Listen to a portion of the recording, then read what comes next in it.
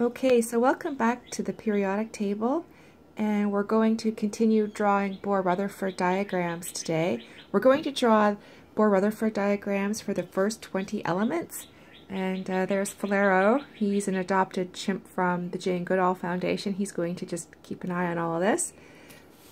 Now what I'm really interested in trying to get the point across to you is we're just doing the first 20 elements. So if you look up here, there's the atomic number. That's the first element, hydrogen. Hydrogen has one proton. If we go over here, there's helium, the second element on the periodic table. It has two protons. And then all of these numbers just keep going across the periodic table. Three, four, five, six, seven, all the way across like that. We're really interested in these first eight columns, these first eight families. So we're going to say that this is family one, column one. This is family two. And we're going to cheat and we're going to jump all the way across the periodic table.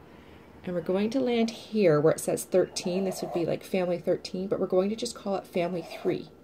So we've gone from family 1, family 2, now this is family 3, family 4, family 5, family 6, family 7, and family 8. Okay, so I have drawn a shrunken version that shows those eight families. One, two, three, four, five, six, seven, eight. And we're going to fit the first 20 elements into this chart. So here we are in family one and I've already started to draw hydrogen. I went to the periodic table, I did my standard atomic notation here for hydrogen, and then I began to draw hydrogen here. So hydrogen has one proton, zero neutrons, there's the nucleus. I need to find a home for one electron, so I had to draw an outer energy level and put one electron in it. I'm done, that's it, hydrogen's completed. I went down the list. Underneath hydrogen is lithium in family 1. So there's the standard atomic notation for lithium. This tells me that lithium has three protons and four neutrons. I place those in the nucleus. I need to find a home for the three electrons. I drew my first energy level and I put two electrons in there. It's full. Now I can go ahead and draw another energy level, which I need to do in this case. So there it is.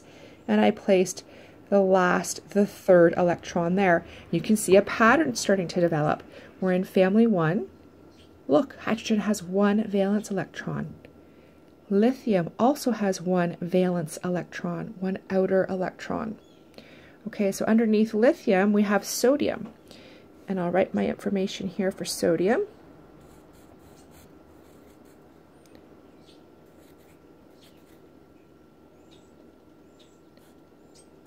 That tells me everything I need to know to draw a Bohr-Rutherford diagram of sodium.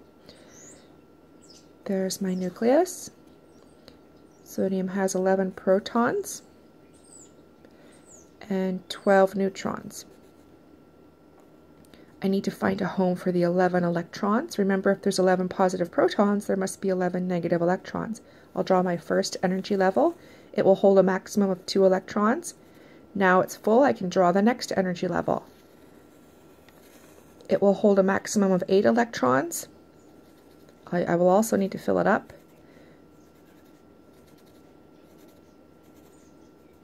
Now I have a total of 10 electrons. I need home for one more. And there's sodium. Last but not least, under sodium we have potassium.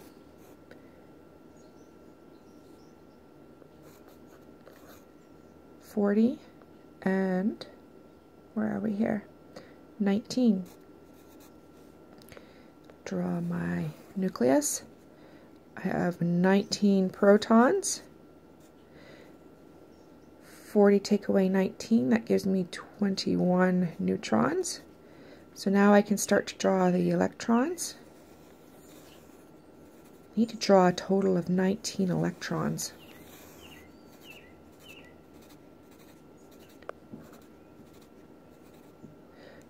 Okay, so now I'm up to 10, 11, 12, 13, 14, 15, 16, 17, 18. Voila, the last energy level. And there's a trend for family one. They all have one outer electron. And you'll also notice that the period matches the number of energy levels. This is period one, one energy level. Period two has two energy levels. Look at this. Period three, three energy levels. One, two, three. Period four, four energy levels. One, two, three, four. Continue to do that for the other elements that remain.